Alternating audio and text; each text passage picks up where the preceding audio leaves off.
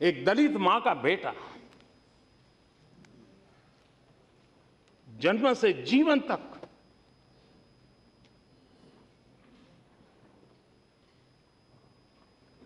सिर्फ़ यातनाएँ झेली, अपमानित होता रहा, उपेक्षित होता रहा। डगर डगर उनको सहना पड़ा। उसी व्यक्ति के हाथ में जब देश के भविष्य का दस्तावेज़ बनाने का अवसर आया तो ये पूरी संभावना होती, वो हम जैसा अगर मनुष्य होता तो कि वो कटुता, वो जहर कहीं न कहीं प्रकट होता, बदले की कहीं आग निकल आती, कहीं भाव निकल आता। लेकिन ये बाबा साहब आंबेडकर की ऊंचाई थी कि जीवन भर झेला, जीवन भर झेला।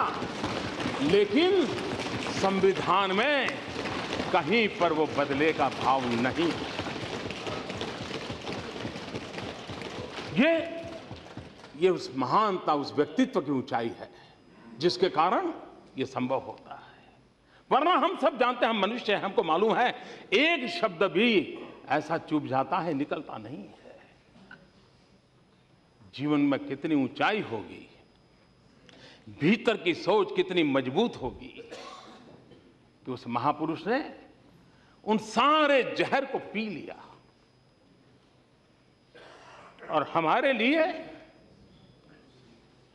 अमृत छोड़ करके गए।